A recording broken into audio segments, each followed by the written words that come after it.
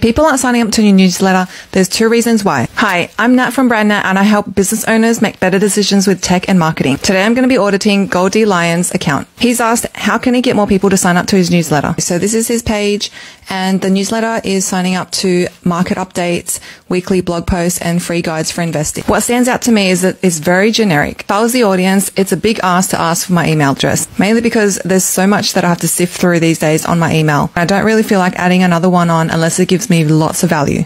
So have a think about what your audience would find valuable and try to make it a quick win for them. So for example, on my store, I know that a lot of my audience wants to get better at marketing. So I've created a 101 TikTok free hooks that they can quickly plug and play. And so this is a really quick one that they can get results instantly. Number two, promote it like crazy, which I'm working on myself. But to make it easier, I made one video that promoted this sign up and I pinned it to my TikTok account. So people will always see this when they come to my account. I hope this helps.